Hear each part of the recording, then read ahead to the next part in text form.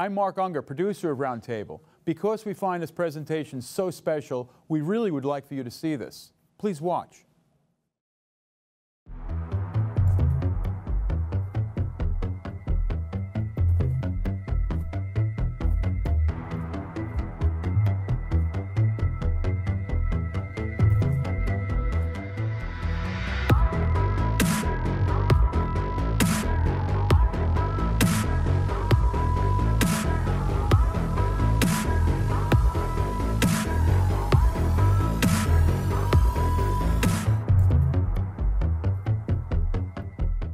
Good evening.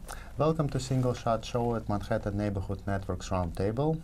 The theme of the day will be a decisive moment. We all know this uh, concept and we implement it when we're trying to make a photo to be interesting and uh, to reach the perfection. But if we would look at the concept in a bro uh, broader scope, we will realize that this concept works for civilizations. It works for the general uh, history of photography. And in order to discuss it, we uh, invited uh, uh, a brilliant photographer, a traveler, a National Geographic's journalist, and specialist in decisive moment, Ira Block.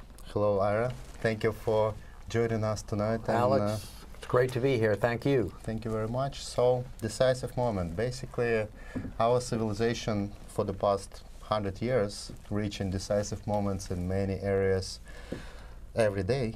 And uh, I know that one of the biggest interests you have uh, in your photography is actually capturing decisive moments of civilization. So why wouldn't we start there? Yes, uh, I like to photograph different cultures and especially how emerging cultures are changing. And I'm always looking for a moment that helps tell a story. So, uh, do you have any general premise of the story, or it's every time it's something different? Every time I go somewhere, I do some research and I try to get an idea of how a place is changing, how people are changing. And with that information, I look for photos that illustrate those changes. I, I tell stories with my photos. That's the most important thing. My photos have to tell a story. Well, I know that one of those stories is actually the book you recently published about Cuban baseball. I'm pretty sure not a lot of Americans even realize that Cuba is a big hub for baseball games. And uh, as I understand, you found something very special uh, related to American history in the way this uh, scenery looks in Cuba right now. Would you like to tell me a little bit about it? Most people don't realize that they've been playing baseball in Cuba almost as long as we have here in the U.S.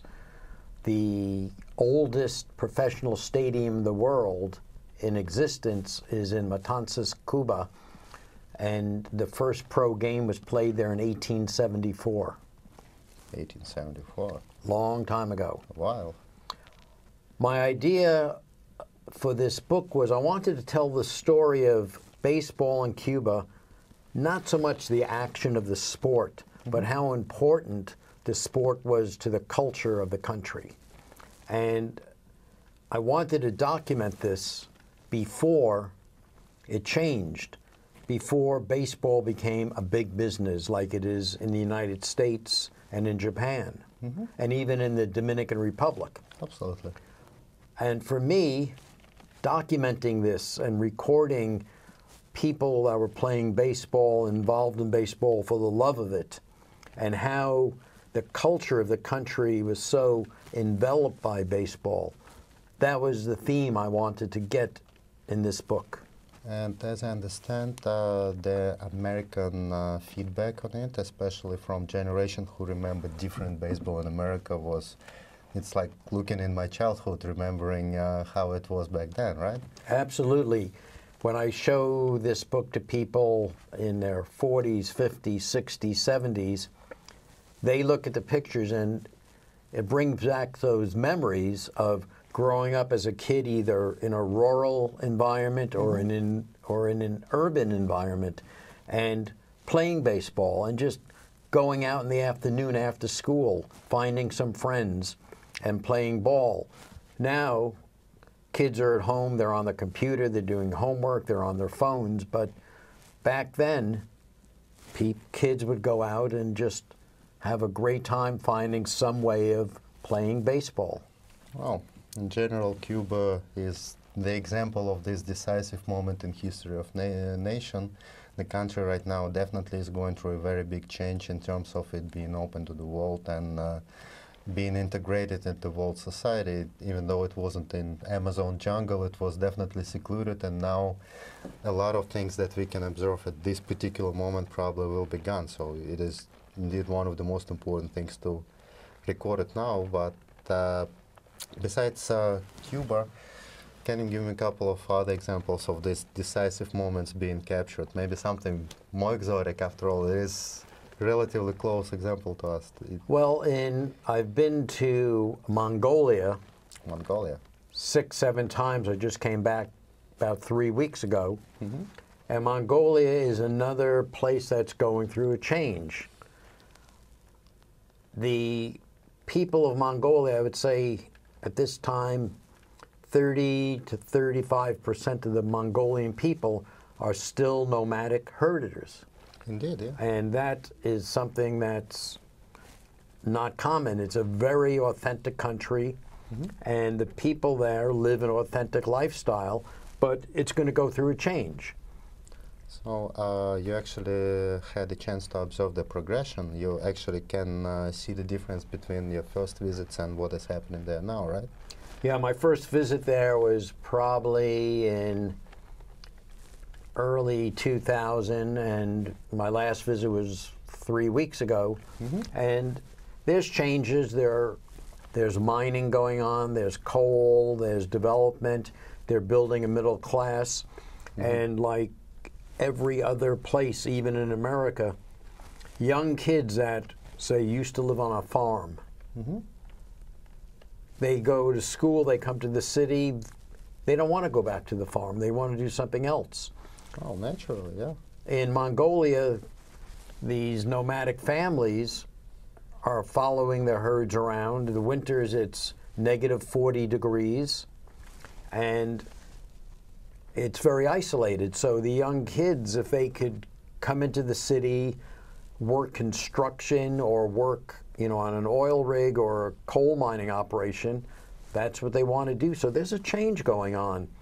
And the important thing is the balance of your old culture with the modern culture. How are you going to keep traditions from the old and live in the new world?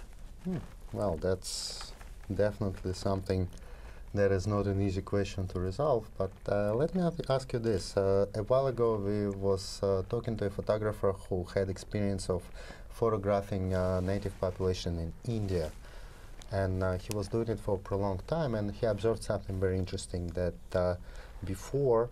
Uh, his uh, efforts to photograph somebody was welcomed because there was no cameras and people was happy to be even uh, just captured on film and uh, preserved for eternity even if they wouldn't get a copy of the picture it was still something they would want to do now it's often frowned upon and people actually want to photograph him as a visitor and some, somebody exotic did you observe something similar in uh, this uh, direction in mongolia I think people in these places now are used to tourists coming.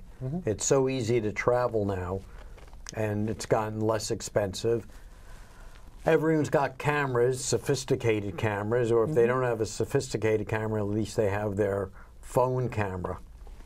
And I think local people are getting tired of being photographed. I can't imagine. Did it uh, impede on uh, efforts to actually making it looking authentic? Did it affect uh, the final results? I mean, uh, you work in for National Geographic, and they have utmost standards, including standards for uh, image look authentic and look natural. I can imagine that if people so used to posing for photos, they probably don't look as authentic as they used to before. Well, part of what I do, part of being a professional and what I do is I know how to deal with people. Naturally, yes. I know how to interact with people, and I know how to make people feel comfortable. Mm-hmm. So if I'm in a situation with people that at first may not be interacting the right way and not look natural, mm-hmm. I know how to I know how to make it happen. It's part of my tools. I know how to work the camera. I know how to make nice pictures, but you to get everything to work, you have to know how to approach people, deal with people, and interact with people. Well, it's definitely a skill that is not so easy to master, especially if you have to do it in a language that you don't know. And I presume you didn't know every language in every area you visited. I wish I did. I'd love to be able to speak to people and communicate directly, but no, I'm limited in my languages, and I'll have a translator. But there's also body language, Exactly. and I know how to look at people, how to move my body, watch how their body's reacting, and make just make the magic happen. Well, that's definitely something that's not so easy to achieve, and uh, judging by pictures, you mastered it pretty well. We'll uh, get back to this thought after the break, and I wanted to actually touch a little bit more on the subject of many people with cameras. Okay.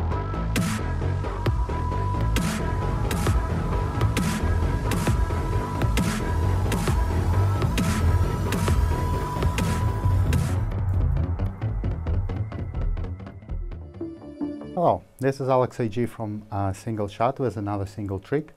Tonight I want to tell you a little bit about post-production. There is one feature in uh, Photoshop and many other photo editing programs that being used uh, scarcely. That's channels. And uh, there is only one reason why it is so. Nobody understands what it is for. Well, not nobody, but a lot of people don't. So when you see an image just like this, uh, you are getting in channel that. And that's very counterintuitive because you actually supposed to be seeing this. Three separate sets of color, not of grayscale. So if you would think of each channel as specific color, for example, of red being red instead of grays, blue being blue instead of uh, grays, and green likewise, you'll uh, find channels very useful for editing.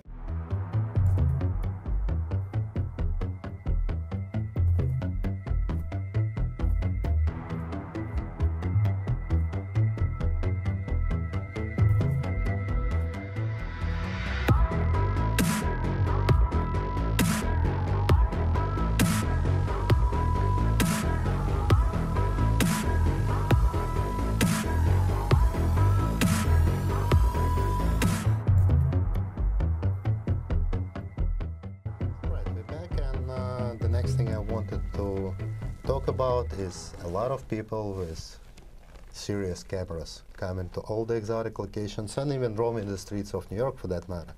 The uh, photography uh, scene changed a lot recently, and that's another decisive moment we actually living through the decisive moment for photography as a media. Uh, once photography switched from film to digital, it was a pretty big switch, but right now we have something even more interesting going on. Technology is not changing instrumentally, but it's improving, expanding, and getting more sophisticated in so many ways that uh, the whole perception of photography is changing. So, how does it uh, affect you? I know that you started with uh, film photography, correct? Yeah, I started back in high school, film, dark room in my basement, developing film. It was magic, making a print and seeing it appear in the tray. I fell in love with photography. I shot film, and I think shooting with film was incredible training for me to get the image right in the camera, to connect with my subjects. I think now digital is fantastic. I love it. It's changed a lot in my life. My workflow has changed. I could get pictures out to people easily. I know where everything is. I could call them up on my computer. And the dynamic range of the digital sensors, I could take pictures in very harsh light. And the high ISO, I'm shooting, I've shot some pictures at ISO 52000 with my Sony cameras. And what it's done is it's opened up a world that I could not photograph before. Before you mm-hmm. get those ISOs up so high, there are things you could not photograph, or if you photographed them, you had to light them. better didn't. And then lighting them changes a lot of the energy. So Absolutely, yes. so it's been great, but on the other hand, a lot of people think they could go out and buy an expensive digital camera, and I've got the camera, I'm going on a trip, I'm a photographer.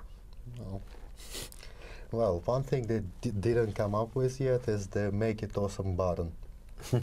Maybe one day, but uh, yes, indeed, uh, digital cameras did uh, introduce a lot of people to possibility to take a picture, but they didn't necessarily make them photographers. And how uh, even the best uh, masters of photography now feel, I wouldn't say threatened, but in a way, uh, kind of pushed in a corner by the plethora of images. And they not necessarily even close in quality to what a master photographer can do but uh, they acceptable. And a lot of people who just looking at images on uh, their social media accounts they don't know any better. So the works of uh, serious photographers in a way getting lost in it how did it affect uh, you how did uh, how do you do you deal with this Yeah, the world of photography has definitely changed, and we're in a world not just in photography, but of instantaneous gratification, spontaneity. Do it now, get it now, see it now, move on. That's Twitter, Instagram, the news, everything's changed. So in photography, for me, I still look at people's pictures and I think, okay, they're taking, you know, it's good that people are taking pictures. They're aware of photography. It's been great for the hmm. camera industry, the photographic community, the whole idea of communication. Mm-hmm. I use Instagram now. I love Instagram. Instagram is the new way I publish my photos. I have 335,000 followers, and they make comments, and I answer their comments. I like that interaction. But for the, I'm a professional. This is a way I work. yes I think the average person gets the camera and they paid a lot of money, mm-hmm. and the camera gets the right exposure, gets the right focus, gets everything right, but the camera does not think for you. indeed And people are using these expensive cameras, but they're just pointing and shooting. They're not thinking and shooting. And I do a lot of workshops, and I teach people. I say, you, you know, you've got to think. What's what are you looking at? What's in the corners of your viewfinder? A lot of people concentrate on the center mm-hmm. Of the camera. Yes. And that's what there's a person there that's what they're focusing on. They're forgetting there's more area and i use you know i try to teach people use composition to bring a dynamic look to what you're photographing. Well, most the the first thing that uh, most of the people who are not formally trained in photography tend to do is to center the object uh, objective of their photo, and uh, obviously, ninety percent of the time, it's not the best solution to. no but it's the easiest and they show it to their friends and the friends go that's great No. Uh, when I do workshops, first thing I tell people is when you come back from a trip, you show the picture to your friends, you show the pictures to your family. They're going to tell you the pictures are great. Naturally. I'm not. I'm going to tell you what's wrong with the pictures. I'm going to tell you what you need to do to make real photographs, Well, not snapshots. well, that's the art of photography. What it's what it's all about. Exactly. So uh, you mentioned that you uh, teaching. Uh, what is uh, the age group you normally working with? You're working with younger students. You're working with uh, people who actually seen the world with film photography and early digital photography, or just uh, the modern world where everything have a camera? I'm working with a mixture of people. I get some young. Uh, a lot of the people are older because they have the time to take off. Because my workshops are usually in exotic places, and they these people usually have good equipment. But I also have some people that come along with just a camera phone, and camera phones can take good photos but you as a photographer have to make it a good photo. The camera could, could, you know, the phone could take a picture. You have to make it a picture. And it's harder with the phone because you're limited. You don't have the lens capabilities you do with other cameras. Exactly. Well, that's actually a very good exercise. I don't know if you're using it on your students, but you could give it a try. Basically, tell them now put your cameras away and do the same thing with your phone. And sometimes, well, same idea. Some with my more advanced students, I'll say take off the zoom lens, and just work with a 35 millimeter or a 50 millimeter lens. Same concept with the phone. You've got a certain lens on there, a certain field you're looking at. Mm-hmm. You have to find photos that work in that field. Indeed. You're not going to take a picture of something 200 meters away and blow it up. You have to, that's just not a picture you could take. You have to find another type of picture that fits into the format. Well, that's how it works with prime lenses. With the phone, you can actually zoom in, but uh, it's not only about the focal distance of the lens in a phone. It's uh, about the way uh, those lenses actually interpret the reality. The phones tend to have wide-angle lens, and even if you zoom in, the distortions of the field are still the same. Now, we're reaching our uh, end of our program, but we will still have a few minutes to conclude this conversation. Okay.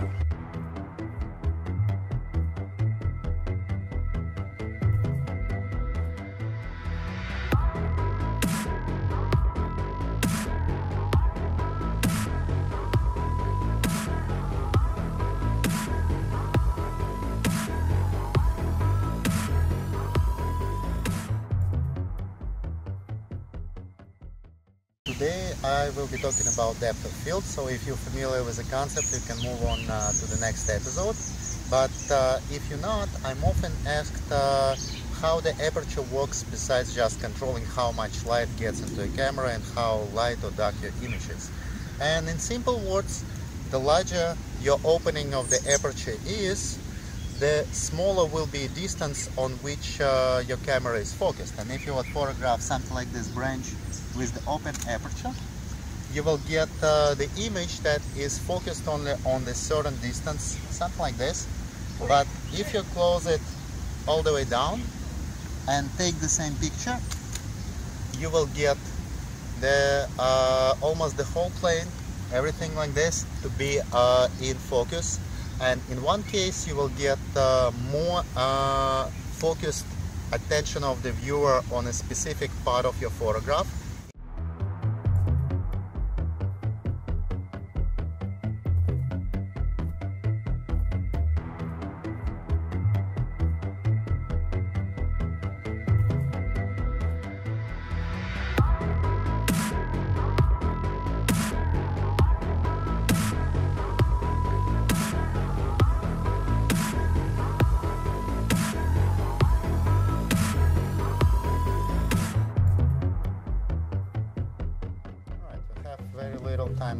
And uh, I wanted to touch but one subject uh, we mentioned briefly before. Uh, most of uh, high-level professionals, if they was trained in film, actually tend to have uh, some sentiment to black and white photography. And I know that you don't share this sentiment as well as I don't. I actually do prefer color photography, and I wanted to ask you to share with us the reasons. Your pictures are beautiful. The colors sometimes is the most beautiful part of the picture. The reason probably why this particular picture was taken. But still, I want to hear from you your reasoning behind uh, color photography for you being more important than black and white. I started in black and white. I love black and white. I made a switch to color when I was in college. But now, I just see the world in color. The places I'm going, I think, need to be documented in color. And reality now is that for me, processing or post production of color is simple for me. I want to get the colors right, natural, what it looks like in the world. Yes. Black and white is just by the nature, it's it's not showing the world as it is. It's interpreting the world in black and white. And so as a photographer looking at the black and white in post processing, you have so many options as to the look of the black and white. Indeed. So color is easier for me. And I've done a few things in black and white, and maybe in the future I will do something in black and white. It's in my blood, it's where I started. Uh-huh. I'll go back someday, but it's got to be the right project. It has to have the right feel, the right look. I just don't shoot black and white to shoot black and white. I would need to shoot it because I feel the subject matter really warrants black and white to tell that story. No, that's actually one of the uh, biggest reasons why I do believe that this particular treatment of the photo right now is so badly abused. It's so easy to make picture black and white and together again those notorious likes just because it's black and white. Yeah. And uh, nothing in the subject matter, in composition, and anything else is basically dictated that that particular image is supposed to be monochrome. Well, I've seen people take a bad color picture and make it into black and white because the color just doesn't look right. So they make it black and white, make it moody. Now they have a picture. Job's done. Yeah. All right, so let's hope that there will be a lot of good pictures in black and white and in color, and uh, you will show us more decisive moments from all those civilizations that yet to be in front of your objective one day. And Thank let's you hope your much. viewers, you know, love photography and use it for what it is. A great way to tell stories and look at the world. Great way to uh, tell the stories and look at the world. Great words. Thank you very much. it was a Okay, thank you. Alex.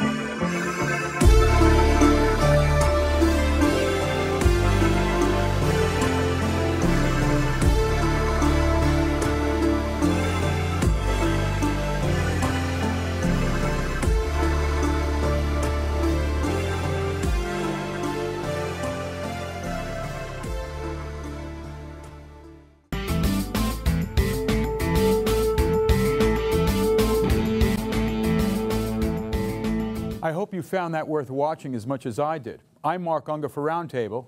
Thanks for watching.